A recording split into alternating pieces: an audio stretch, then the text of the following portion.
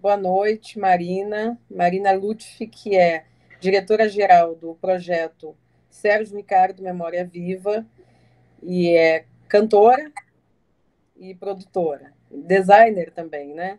Isso. É, e é filha do Sérgio Ricardo, né? Incrível artista brasileiro que dispensa apresentações. É, eu sou do Instituto João Donato e estou aqui batendo esse papo com você, Marina, porque você é a nossa fonte maior de inspiração, né? Pela dedicação que você é, empenhou nesse projeto e pelo resultado incrível que virou uma grande referência, né? No, uh, na preservação de acervos familiares, porque todos os acervos começam dentro de uma pessoa e uma pessoa ela está dentro de uma família sempre, né? Uhum. E a nossa e o histórico do nosso país sempre vai por esse lado, né? Eu tenho observado e deixo aqui registrado o canal no YouTube do Sérgio Ricardo Memória Viva, né? Que foi é, onde eu aprendi o que a Marina e toda a equipe dela ensinaram, né? Para gente, porque fácil nunca foi. E o nosso desafio maior é o desafio das caixas, né? Então, começando por aí, eu queria que você contasse como é que foi o ponto zero do início que vocês perceberam, ah, isso aqui é um acervo e agora eu vou lidar com isso desta forma. É, assim, obrigada, Ivone, pelo convite. E é muito bom poder falar isso com você, que é do, do Instituto João Donato, que é um, um, artista que eu admiro demais, assim, né, contemporâneo do, do meu pai. Eu fico muito feliz de poder colaborar com a sua pesquisa, porque, enfim, é, é realmente acho que todos nós estamos juntos colaborando uns com os outros, né? E fico feliz de saber que, que a gente, que o nosso projeto virou alguma, alguma referência para você, porque realmente a coisa é intuitiva. Assim, a gente começou o nosso processo é, é, lá em 2009, mais ou menos, porque minha mãe é, é museóloga, né? Eu tenho essa sorte, na realidade, né? Então, é, tudo fica um pouco mais fácil porque ela tem um conhecimento grande de acervos, de institutos culturais. Ela trabalhou muito tempo no MIS, trabalhou muito tempo em outros lugares e começou a dar é, aulas na Unirio, né? Virou professora doutora e tal, e, e começou a dar aula na Unirio. E lá ela conseguiu um projeto de extensão né, pela Unirio para organização do acervo. Ela, particularmente, sempre alertou para a importância desse trabalho, né, de, de preservação das coisas dele. Ele mesmo já vinha me sinalizando também a preocupação com como que ia ficar, como é que as pessoas iam conhecer as músicas dele, organizar as partituras, organizar os desenhos, os quadros, enfim. Então, é, a minha mãe já vinha sinalizando isso e acabou conseguindo esse projeto de extensão na Unirio, que dava direito a um bolsista é, para ajudar na organização desse material. O material ele estava todo espalhado pela casa do papai, que não era mais casado com a minha mãe, né? Enfim. Então era muita coisa na casa dele, algumas coisas na casa da minha mãe, que é a casa que ele já morou com a minha mãe, na Urca. É, enfim, a gente. Aí a minha função nisso tudo foi justamente ser a ponte para para trazer, levar o material todo para a casa da minha mãe, que foi a base do, do, do projeto inicialmente, né?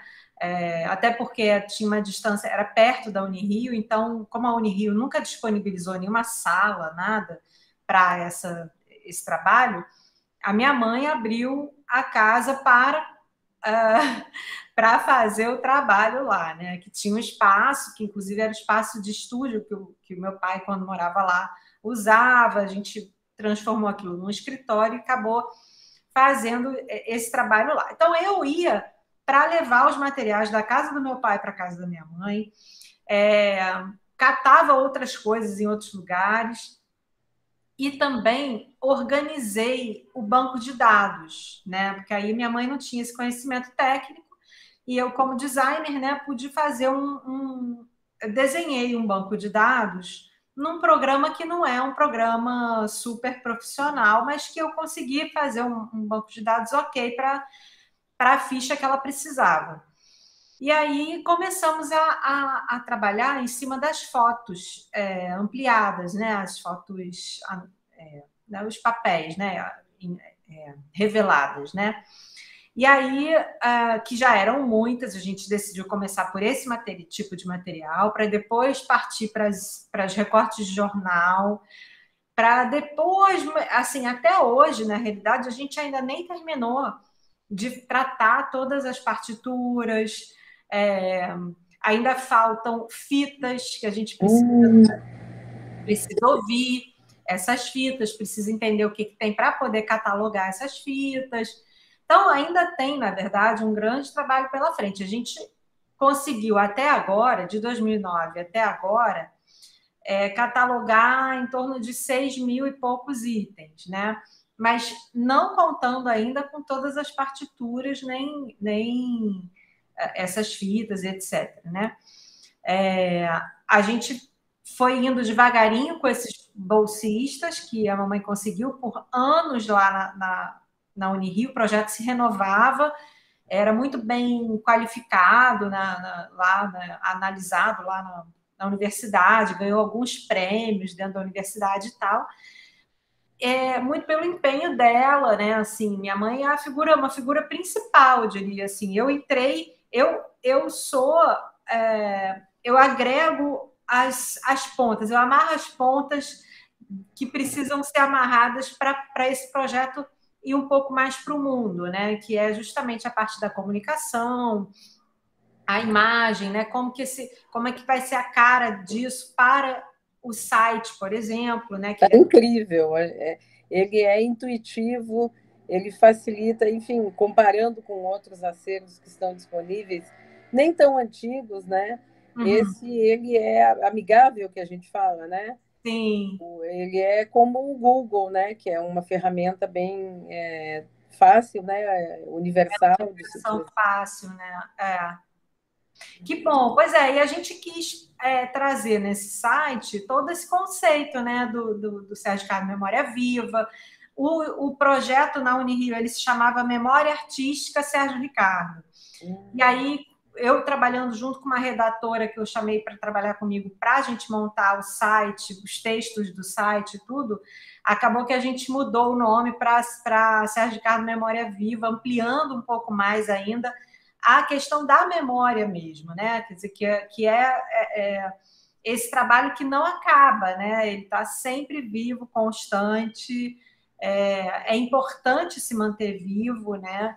E discutido. Tem muita coisa que pode ser é, muitas ações podem ser pensadas para isso, para que, que o trabalho continue existindo, né? O, o, trabalho dele, né, como obra, né, continue existindo, continue é, levantando questões que, na verdade, a obra dele sempre foi muito assim, né, muito viva, muito instigante, muito contemporânea, assim. Sim, constantemente contemporânea, né? Constantemente contemporânea, com assuntos né, relevantes e e sempre muito preocupado né, com, a, com a sociedade brasileira, com a, com, a, né, com a realidade brasileira. E como é que foi o acompanhamento dele? Lamentavelmente, ele faleceu né, no ano passado, é. É, mas eu observei que ele acompanhou né, essa a maior parte né, dessa organização desse acervo. Como é que foi isso? Sim, porque como foi, como começou em 2009, na realidade, esse, esse processo, então ele realmente estava super ativo ainda em 2009, né? Então ele ajudava a, a, a organizar as coisas para eu levar para casa da minha mãe, ele ele acompanhou um pouco de longe, porque ele não se envolvia muito no processo, né? Ele, ele sabia que a coisa estava acontecendo, ficava feliz de saber que as coisas estavam sendo organizadas, mas como também é um, um trabalho de formiguinha, né? É, é, muito demorado e, enfim, com um bolsista só e tudo, a gente não conseguia fazer uma, uma coisa acelerada para ele ver um super resultado. Mas quando ele ia na casa da minha mãe visitar alguma coisa, a gente mostrava, olha como é que está ficando as caixinhas todas organizadas de, de foto, com um papelzinho, cada foto, foto numerada, com seu papel alcalino, não sei o quê. Então ele, ele via que a coisa estava acontecendo, ficava super feliz, né? Que bom. Então é, ele gostou muito. E no final, ele morreu em 2020, né? Ele morreu em, em julho de 2020. É, era exatamente o ano que eu tinha conseguido finalmente um, o, o patrocínio do apoio, né? Do Itaú Cultural para formar uma equipe multidisciplinar para me ajudar a alavancar um pouco, porque a gente ficou muito tempo nas fotos e muito tempo nos recortes de jornal, por causa dessa falta de volume de gente, né? Então, aí quando, eu, quando a gente conseguiu esse apoio, a gente primeiro conseguiu um apoio da FAPERJ para fazer o site, a ferramenta do site. É, fizemos a ferramenta do site, eu chamei um programador, né, um desenvolvedor, para fazer um banco de dados próprio, online, que é para poder, inclusive, isso virar um site, né? Chamei essa redatora, Maíra, que é muito amiga minha e fera, né, nessa, nessa parte conceitual, e conhece muito bem a obra do papai, então ela, ela conseguiu traduzir muito bem em texto, tudo. E aí a gente fez a ferramenta, estava tudo pronto, o site estava pronto. É, e aí eu pensei, gente, mas espera aí, as pessoas vão querer ver só fotografia e recorte de jornal, elas não vão querer ver só isso. Elas querem ver tudo, querem ver as músicas, querem ver os filmes, querem saber as informações. Aí eu falei, eu não vou lançar isso enquanto a gente não tiver mais volume de, de para mostrar online, né? Aí eu fui correr atrás desse desse patrocínio, desse apoio e conseguiu o Itaú Cultural. Foi muito legal, porque eles deram, foram super generosos, eles, eles é, apoiaram por um ano né, uma equipe, sei lá, de 15 pessoas para a gente dar o gás que precisava. Então, a gente, a gente de, sei lá, 2 mil itens, nem isso que a gente tinha acervado, a gente conseguiu acervar 6 mil itens. Ah, né? que ótimo. Em um ano. Então, foi realmente uma empreitada. Eu aproveitei para dar mais uma revisada no, no, no, design do site, dei uma modernizada e tal. E, e lançamos, então, em dezembro, no, no final do ano né, de 2020. Papai faleceu no meio do processo. Foi bem difícil, porque eu estava é, aqui, ele estava acompanhando. Ele, eu a, a marca, por exemplo, do, do, do, projeto, né, a assinaturinha dele, tudo, é, eu pedia para ele fazer, sabe? Eu tava, eu envolvia ele nos processos, ele estava bem doente já e tal, mas ele acompanhou e, e, e, pôde curtir. Ele ficou todo feliz quando ele viu, eu mostrei a marca pronta para ele. Ele ficou, nossa, que linda! Ele ficou muito feliz, sabe? Então, eu fiquei muito satisfeita de ver é, da, e assim, não, isso também não deixou a gente, não, não, é, não desanimou a gente, porque a gente tinha um contrato, inclusive, né? Então tinha que terminar. É, e conseguimos, assim, no meio de todo o turbilhão de pandemia, doença, né, falecimento e tudo, conseguimos lançar em dezembro. E aí enfim, como a gente lançou, a gente quando a gente lançou, a gente pensou, bom, agora a gente tem que continuar falando disso, né? Tem que continuar é, movimentando o público para que as pessoas conheçam, né? Porque só botar o site no ar e não falar muito disso agora, então, com, com redes sociais, etc., não, não uhum. adianta muito. Você tem que estar. Tá... Por isso que a gente começou a promover essas ações uhum. né, de, de, YouTube, de, de fazer live, né, aproveitando a, a, onda toda de live que aconteceu também durante esse processo de pandemia. Então foi por aí, assim. Né? É, essas lives elas são muito importantes e eu espero mesmo que elas cheguem a, a muitas pessoas que têm essa dúvida, né? Por onde eu vou começar? Por exemplo, eu fui procurada pela viúva do Raul de Souza, né? Faleceu recentemente no ano passado. E ela queria, Ivone, como é que eu faço? Eu crio um instituto, onde que eu vou? Eu disse, olha, é, eu estou mais ou menos como você. Então, eu contei do processo que a gente criou o Instituto em 2012, com esse objetivo. E de lá para cá teve muita luta mesmo, né? Uhum. Tanto quanto vocês. Inclusive, a gente teve um, eu estava lembrando, um convênio com a Unirio. Na época, a coordenadora era Maria Helena, não sei se você conhece. Não. Tua mãe com certeza deve conhecer. E eu não tinha conhecimento desse projeto do Sérgio Ricardo. Isso faz uns cinco anos. Pois Aí é. a gente fez esse convênio, trabalhou durante um ano com estagiários, tá, aquele estágio obrigatório, né?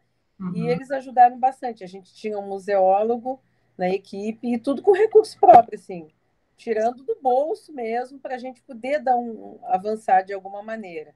E a única coisa que a gente tem organizado aqui foi esse período, né? A gente tem partituras, tem fotos, e a gente conseguiu reunir todas as fitas da casa, que são 1.600 fitas cassete, Nossa. quatro fitas de rolo, né? Porque o Donato é música, é só música, principalmente é. música instrumental, né? Mas, claro, tem foto, tem. Como eu sou jornalista, eu casei com o Donato em 2001, mas a gente se conhece desde 1999, que começou o namoro. Uhum. Então, é, eu de lá para cá, eu guardo tudo de jornal. Né? A gente não sabia que hoje os jornais estariam todos né, digitalizados. Mas é bom também, às vezes, você ter o documento, porque nem tudo você consegue aquele PDF exato. É. Então, eu juntei muita coisa, então tinha muita coisa de jornal, tem muita coisa de jornal.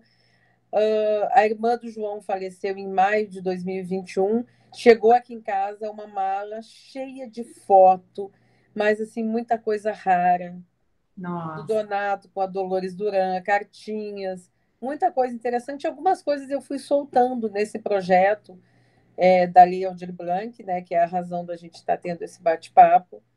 Uhum. E, então eu coloquei, disponibilizei no site que é, o meu projeto da Aldir Blanc eram 80 peças, né, originais. Então a gente digitalizou e colocou e contou um pouquinho de história, né? Fez uma legenda apenas. Então é, é uma grande luta, né? É, a gente tirou dinheiro do bolso, dinheirinho, mas tirou. Né? Isso sem contar todo aquele tempo que a gente dedicou, que tempo é dinheiro, né? O Sim. trabalho né, que a gente dedicou voluntariamente. Então, eu falei para ela, Yolane, a esposa né, viúva do Raul, você tem que começar saindo atrás. Primeira coisa que eu dei de dever de casa para ela fuça naquele é, é, site, no, no, portal Sérgio Ricardo de Memória Viva, assiste com toda atenção as lives que a Marina fez, e ali você vai ter fontes, pessoas com as quais você vai poder conversar, como, por exemplo, o pessoal da USP, né? Aquele instituto na USP, é, o próprio Itaú Cultural, eu acho que precisa ser procurado, ela tem uma preocupação muito grande uh, não apenas com a personalidade dele, mas de dar um, uma continuidade, é, não apenas à obra, mas aquilo que, que ele foi, né? Como a maior parte dos nossos músicos, o Raul era um menino é, muito simples, né? De uma família muito simples. E ele, se não me engano, é, aprendeu a música no quartel. Né? Alguns o Donato mesmo, da banda dele, tem gente que começou na igreja, né? Então, são, assim como o próprio Donato, que nunca é, frequentou a escola, né? Ele veio a estudar música recentemente para poder escrever arranjo. Eu digo uhum. recentemente, 50 anos atrás, 60 ah. Mas ele já era um músico reconhecido quando ele passou a escrever e a estudar. Então, é, eu falei para ela, é, começa conversando com as pessoas e está certo. Eu até depois vou tomar a liberdade de, é, se você permitir, passar o teu telefone para ela, para ela pegar algumas dicas assim.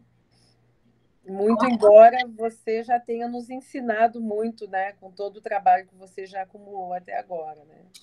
É, eu, eu ainda tenho assim, eu sinto, agora eu estou entrando numa nova etapa, né? Que é assim, é a preocupação com o material físico mesmo, né? O desafio das caixas. O desafio das caixas. É, eu tô, eu tô agora começando a pesquisar realmente instituições que podem abrigar o acervo físico. Para eu não ficar com a missão eterna de ficar carregando essas caixas para todos os lados, que eu, se eu vou me mudar, eu tenho que carregar, eu tenho que ter uma, uma sala para Onde tudo. que estão essas caixas agora? Elas estão distribuídas entre aqui, que é a minha casa, no uhum. Flamengo, e a casa da minha mãe na Urca. Uhum. Ainda tem muita caixa na casa da minha mãe na Urca. E aí eu tô, eu tô pesquisando agora essas instituições, tô, até eu vou para São Paulo essa semana, amanhã eu vou para São Paulo para essa semana dar uma olhada em alguns institutos lá, na Unicamp, na a USP eu já visitei, a, o IEB eu visitei. É sensacional, sensacional. Então, quando você vai num lugar desse, você pensa, meu Deus, realmente, é, sabe, é, é isso que, que esse material merece, sabe? É estar num lugar desse. Então, é, eu estou muito empenhada em fazer esse movimento, principalmente das coisas que a gente já catalogou, né? Já tratou assim, mínima do nosso jeito. Claro que assim, eu tive toda a assessoria da minha mãe e do pessoal da Unirio. A gente catalogou direitinho, tratou direitinho os materiais.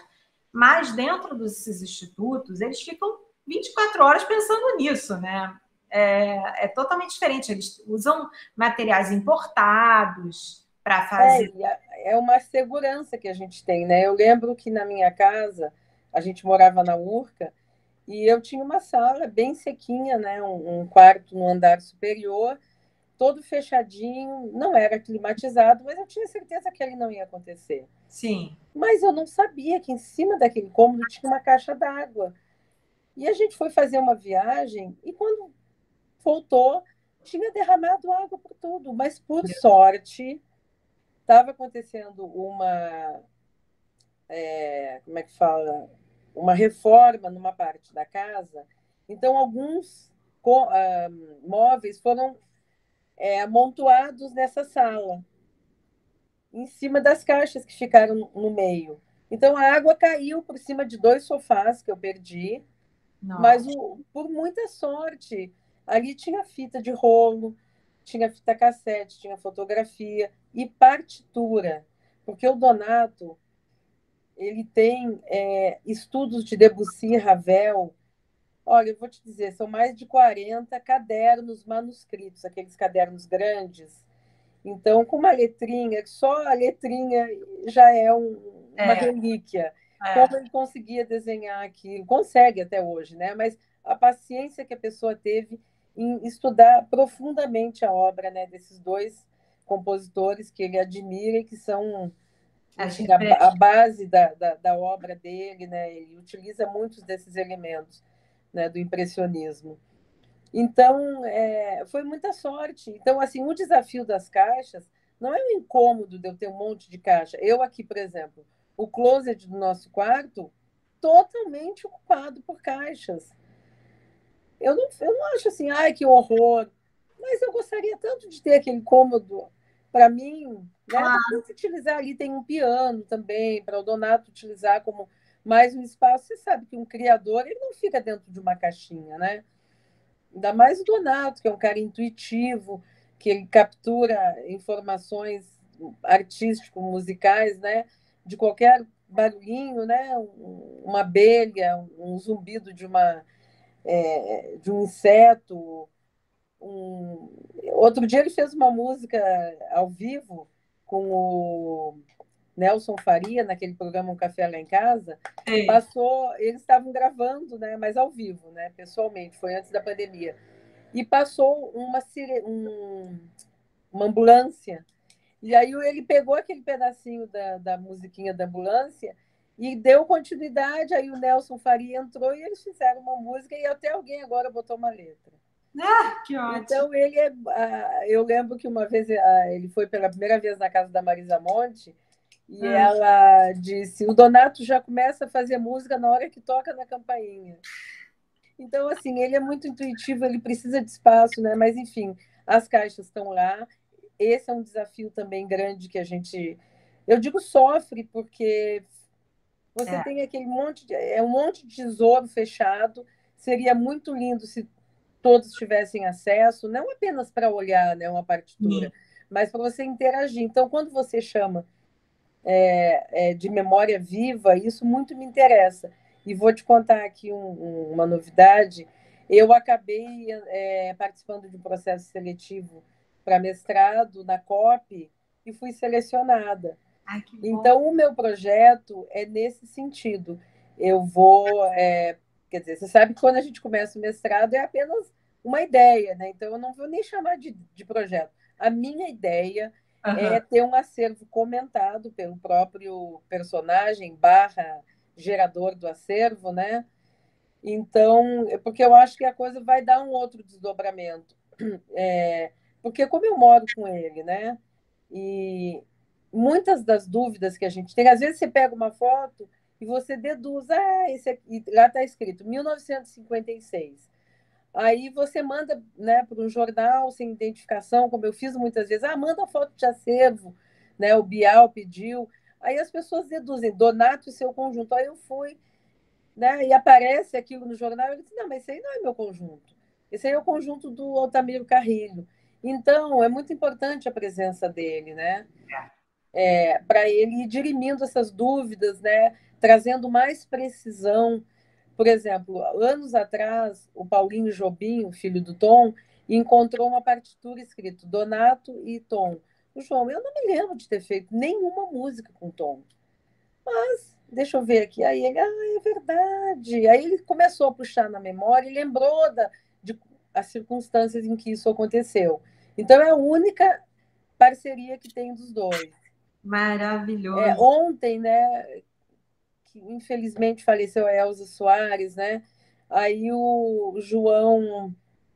É, aí deu no noticiário, né, que ela tinha sido casada com Milton Banana. O Milton Banana é o cara que gravou dois discos importantíssimos com o Donato, um que se chama muito é, Donato seu trio muito à vontade que é o primeiro disco assim que estourou a bossa nova, né, do Donato. E o segundo é a bossa muito moderna de João Donato, seu trio.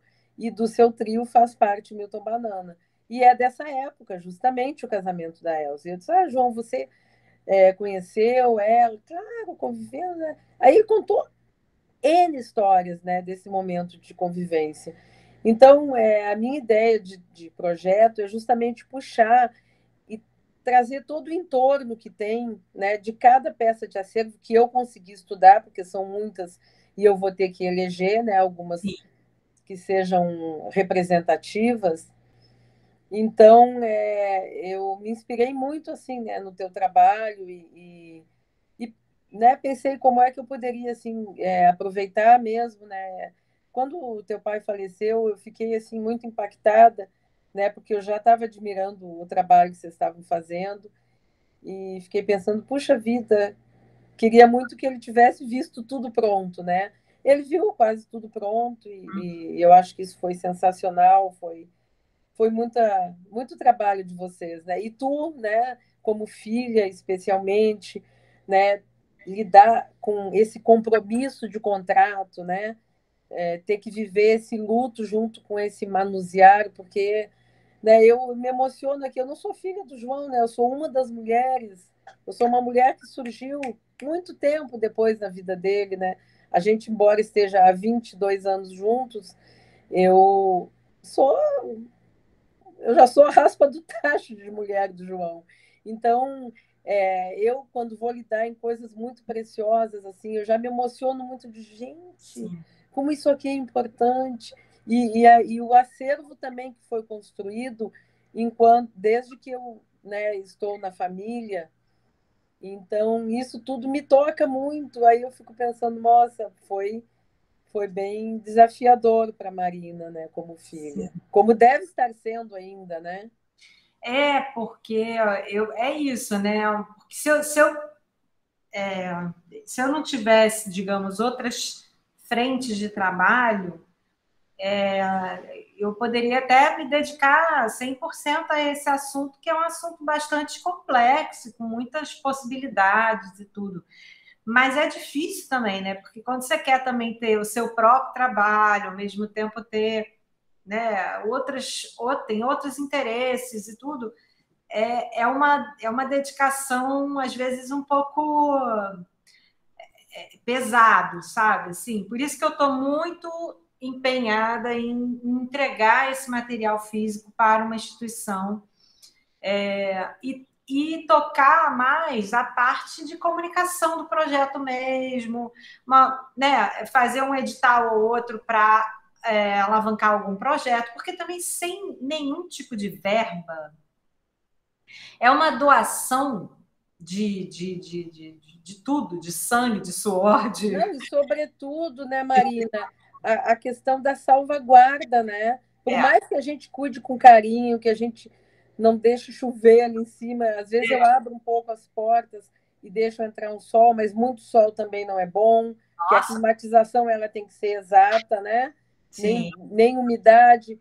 Então, é, por mais que a gente dedique todo esse carinho né, e essa entrega, nunca será suficiente, nunca. porque é necessário, primeiro, uma climatização, a questão da segurança mesmo física, né? Está fechado, ninguém vai vir aqui mexer. Uhum. Então, é, é, é, muito importante. Mas, Marina, é, nós estamos já encerrando nosso tempo. É, não sei se você quer fazer alguma consideração final, mas eu quero, desde já, assim, agradecer por tu teres tomado a frente né, desse projeto. Claro, teu pai, mas foi muito importante para o Brasil, tudo que tu já fez até agora, tua, tua mãe, né, e, e toda a equipe que está envolvida, e os apoiadores, né, o Itaú, uhum. e assim, super gratidão, mas de maneira bem pessoal, muito obrigada por aquilo que você ensinou para a gente que está aqui, né, começando a, a, a, se mexer, porque até então eu tinha só guardado, né, é, não salvaguardado, estava na caixa.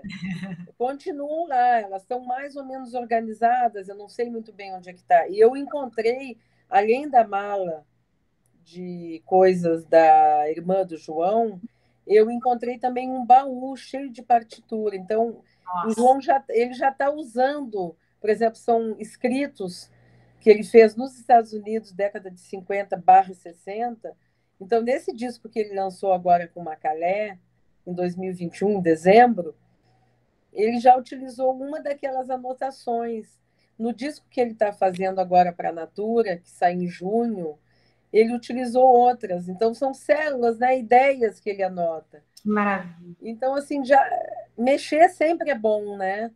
Além de tirar a poeira, você encontra né, muitos tesouros. Com certeza. Eu fico super feliz de ouvir você, Ivone, assim, de ver esse trabalho também que vocês estão fazendo, né? E com o Donato em plena atividade. Eu acho que essa coisa que você falou do mestrado, né? Dele comentar, eu acho isso assim riquíssimo. A gente tem com certeza informações ali no nosso site que não estão corretas porque a gente não tem a informação, a gente não tem como saber exatamente. Uhum. Então, isso eu acho que é muito bom, é muito importante ele realmente rever esse material. Isso também traz para ele uma, uma. deve trazer né, uma emoção de memória, sim. deve ser muito bonito registrar até ele vendo, né? Esse... Sim, sim, eu vou registrar em audiovisual, isso já está planejado. Ai, que lindo! Isso vai ser quase um documentário, né? Sim, é, vai acabar né, é, acontecendo isso. Eu vou fazer uma, um direcionamento, é, enfim, deixar ele bem livre, né? Manuseando, vou tentar ativar um pouco da memória, né? Para isso eu vou ter que fazer uma pesquisa bem longa. Então esse meu primeiro ano vai ser de seleção das peças e depois a pesquisa de cada documento, né? Para gente. Mas ó, Marina, muito obrigada mesmo. Obrigada a você pelo convite. E que continue ampliando, né, o teu trabalho é, que você, com certeza, né, depois de toda essa esse esse até esse ponto no qual você chegou, não vai ser tão difícil. Você não está partindo do zero, você está partindo de um ponto muito, muito, avançado.